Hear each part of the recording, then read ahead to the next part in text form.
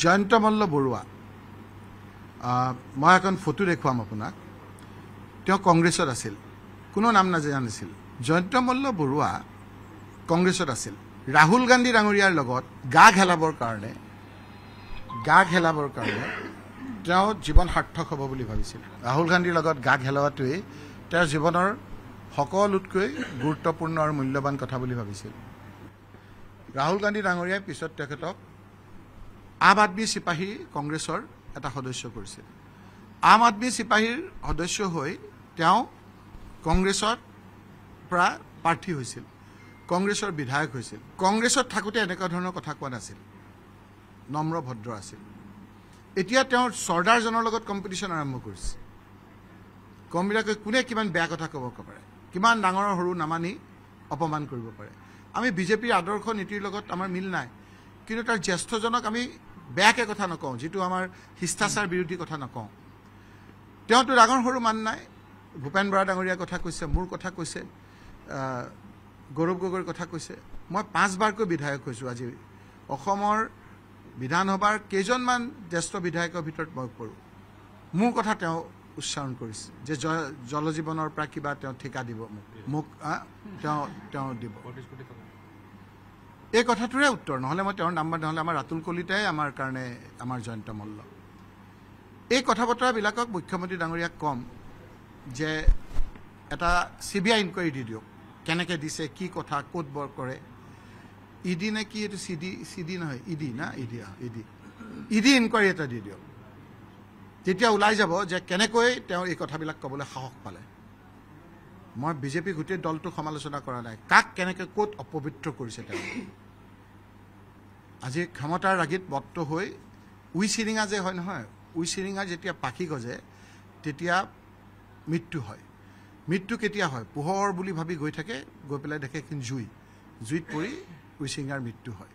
আজি তেওঁলোকৰ ৰাজনৈতিকভাৱে মৃত্যু হোৱাৰ পথত তিনি ডিচেম্বৰ আহিবলৈ দিয়ক। সেইকাৰণে মোক বেকা কৰি পেলাই এনেদৰে ডাঙৰ সৰু মান বিচা নামানা হৈছে। এই কথাবিলাক ৰাইজে চাই আছে। ৰাইজে কিন্তু মুখখন চিধা কৰি দিব তেওঁ। জয়ন্ত মল্ল বৰুৱা। মই এখন ফটো দেখুৱাম আপোনাক। তেওঁ কংগ্ৰেছত আছিল। কোনো নাম নাজানিছিল জয়ন্ত মল্ল বৰুৱা কংগ্ৰেছত আছিল। ৰাহুল গান্ধী ডাঙৰীয়াৰ লগত গা খেলাবৰ কাৰণে গা খেলাবৰ কাৰণে তেওঁ জীৱন সাৰ্থক হ'ব বুলি ভাবিছিল। ৰাহুল গান্ধীৰ লগত গা খেলোৱাটোৱেই তেওঁৰ জীৱনৰ সকলোতকৈ গুৰুত্বপূৰ্ণ আৰু মূল্যৱান কথা বুলি ভাবিছিল। ৰাহুল গান্ধী ডাঙৰীয়াই পিছত তেখেতক আম আদমী চিপাহী কংগ্ৰেছৰ এটা সদস্য কৰিছিল। আম আদমী চিপাহীৰ সদস্য হৈ তেওঁ কংগ্ৰেছৰ পৰা প্ৰাৰ্থী হৈছিল।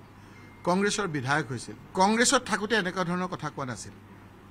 নম্ৰ ভদ্ৰ আছিল। এতিয়া তেওঁ চৰ্দাৰজনৰ লগত কম্পিটিশ্যন আৰম্ভ কৰিছে। কমবিলাকে কোনে কিমান বেয়া কথা ক'ব পাৰে কিমান ডাঙৰ সৰু নামানি অপমান কৰিব পাৰে। আমি বিজেপিৰ আদৰ্শ নীতিৰ লগত আমাৰ মিল নাই। কিন্তু তাৰ জ্যেষ্ঠজনক আমি বেয়াকৈ কথা নকওঁ যিটো আমাৰ শিষ্টাচাৰ বিৰোধী কথা নকওঁ। তেওঁতো ডাঙৰ সৰু মান নাই।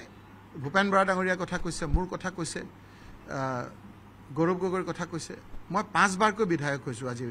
অসমৰ বিধানসভাৰ কেইজনমান জ্যেষ্ঠ বিধায়কৰ ভিতৰত মই পৰোঁ।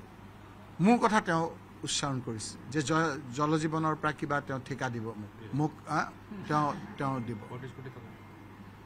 এই কথাটোৰে উত্তৰ নহ'লে মই তেওঁৰ নাম্বাৰ নহ'লে আমাৰ ৰাতুল কলিতাই আমাৰ কাৰণে আমাৰ জয়ন্ত মল্ল। এই কথা বতৰাবিলাকক মুখ্যমন্ত্ৰী ডাঙৰীয়াক ক'ম যে এটা চি বি আই ইনকুৱাৰী দি দিয়ক কেনেকৈ দিছে কি কথা ক'ত বৰ কৰে।